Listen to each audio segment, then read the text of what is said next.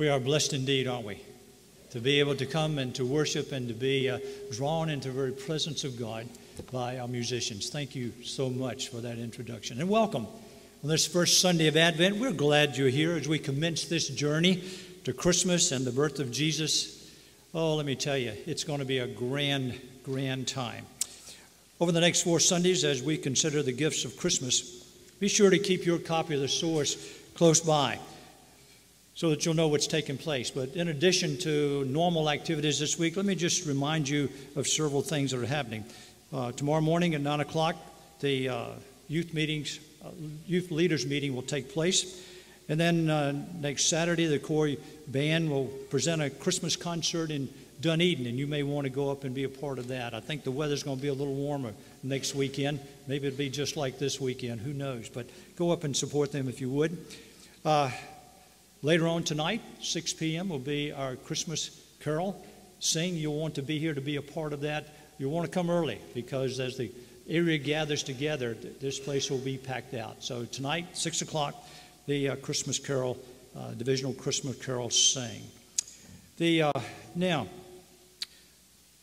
on Tuesday, December 11th, will be the Corps Christmas dinner at, uh, at 6 o'clock.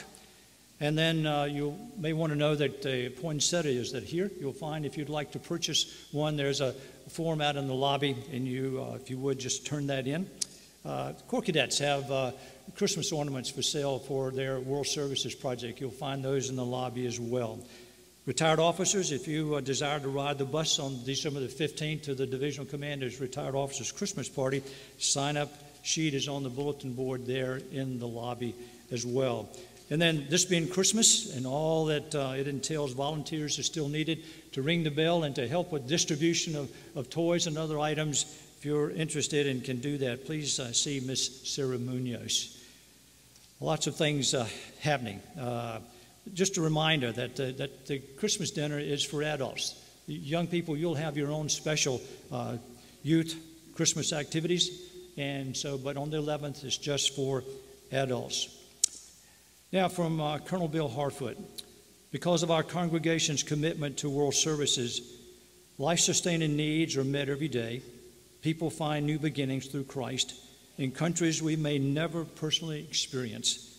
Please give generously to world services, the worldwide ministry of our Salvation Army, and that can help next week as you bring your gifts to Jesus. On the 9th, next Sunday, will be our gifts uh, to Jesus.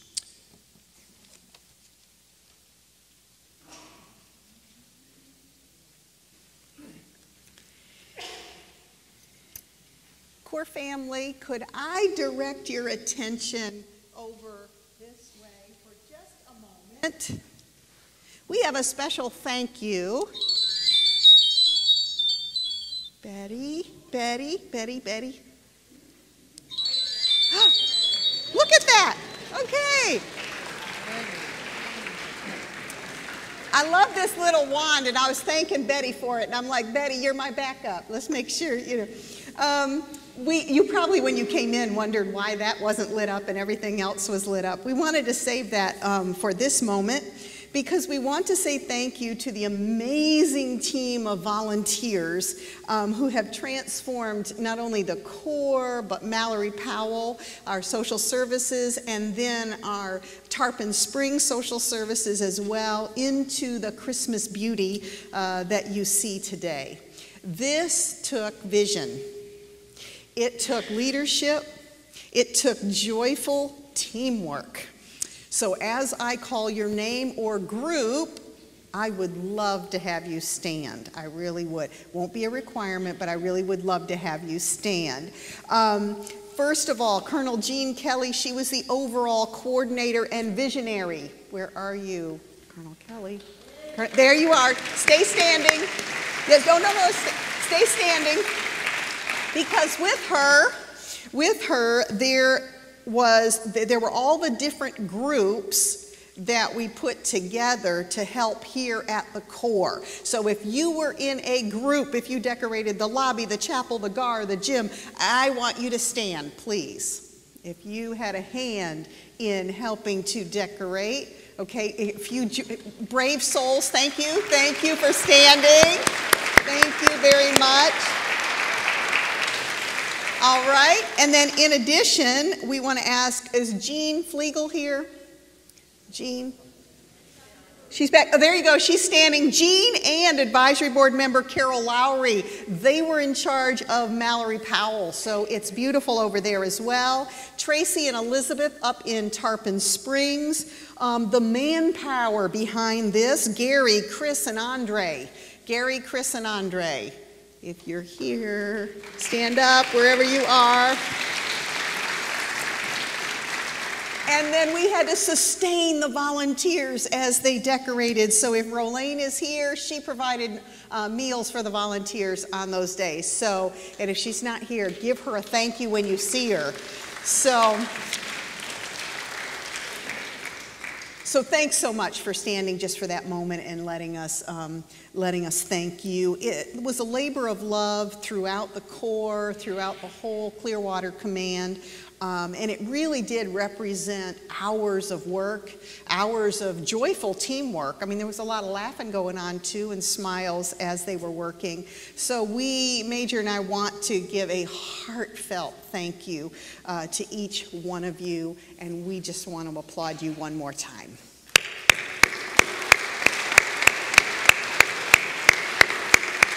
Thank you. Just a reminder about the uh, prayer list on the back of your, uh, your source, and just to um, uh, add to that, uh, Iris Wyke has been placed in isolation due to an infection. Just, just keep uh, Iris and, and Garble in your, in your prayers. And uh, Barbara Pareto is, was admitted to Mease Countryside this past Friday, so keep Barbara in your prayers as well.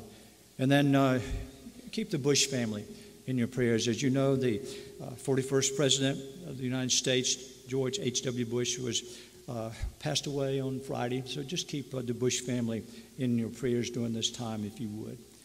Now, it's always uh, a joy to have visitors join us for worship. So if this is your first time, or if it's been a while since you have been uh, to the uh, Clearwater Corps, I'm going to invite you to stand. One of our ushers will bring a microphone. We'd like for you to introduce yourself and tell us where you're from.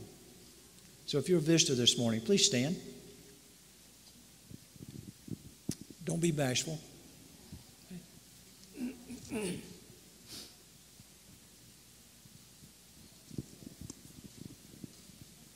certainly will.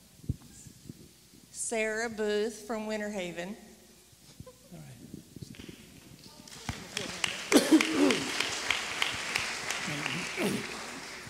right. Oh, good morning, everyone. I'm Taylor Farrington. I'm from Tallahassee, Florida. All right.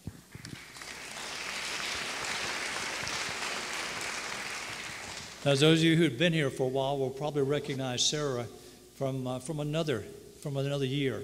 And uh, as our, our youth pastor here for years ago, not that long ago, was it, Sarah? But it's good to have you back today to worship with us.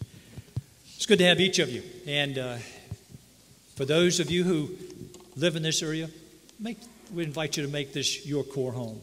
For those visiting, we'd invite you back.